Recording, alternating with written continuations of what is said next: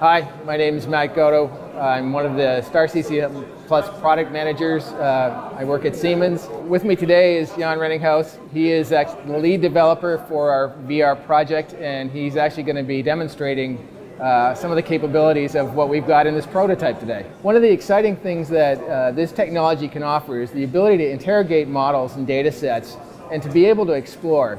Just the nature of how this works really invites curiosity. And the payoff is when someone is in this uh, environment looking at this model and they find something that they didn't know was there. For example, they might find a hotspot under hood that might be a fire risk that they never knew existed and that they were able to discover with this technology. Where this broadens the experience is in being able to look inside a model, to actually be able to touch it, if you will, in a virtual environment, and to be able to interact with it in a very tactile way. All right, let's see this prototype in action. So this first data set that we're going to look at actually comes to us uh, courtesy of the Technical University of Munich, the aerodynamics department. It's the DrivAer case. And what we're seeing our uh, demonstrator, Jan, here doing is he's actually seeding particles inside the door handle of this uh, automobile. So I don't know if you imagine watching recirculating flow in a door handle. But we're able to work at, with a model of this fidelity to be able to capture this level of detail right inside that door handle.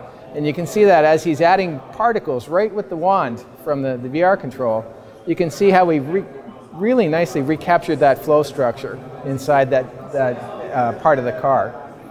Now the next thing he's going to do is something really cool. And this is something that you just could not do on your desktop. He's going to fly through this wheel and he's going to go right inside and under the hood into the engine where we can release particles under hood. We can see where they go as we navigate our way, which is really, really something that you just cannot do with uh, a standard display.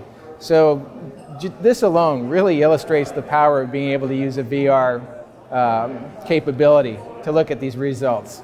This next data set is really cool. It's a fire simulation inside a train station, and it comes to us courtesy of Erwin Schnell from HBI Hector. And what we're going to see is an aerial view of this train station. With this fire, one of the questions we want to answer is, given the amount of smoke in the tunnel, would people down there be able to actually see the exit signs? And we can see from this view that there's a lot of smoke in this tunnel, and you really can't see to the end of that tunnel. With the particle wand again, we can release particles inside this tunnel. And we can actually see how effective the fans are uh, as far as being able to, to manage the smoke and clear things. Right? So it gives us a really exceptional view of the topology of this data set and what's actually happening.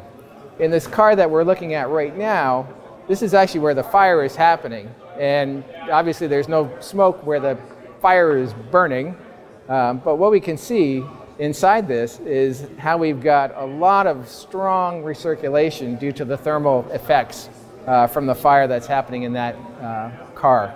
So it's yet another uh, use case for virtual reality where we really could not get a sense of the scale and the scope of this kind of uh, simulation without this kind of technology. This virtual reality prototype got its rollout here at the Star Global Conference in Berlin this week. This is going to be available on your desktops as a fully integrated part of Star CCM Plus, available in about a year. For more information and updates, uh, come look for Star CCM Plus on the Siemens PLM webpage.